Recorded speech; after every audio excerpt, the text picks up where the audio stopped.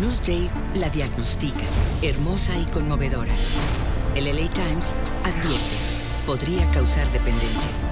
Y el New York Times la prescribe como un disfrute absoluto. La serie que revivió el género del reality en Estados Unidos.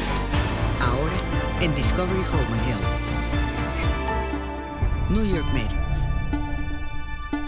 En Discovery Home and Health.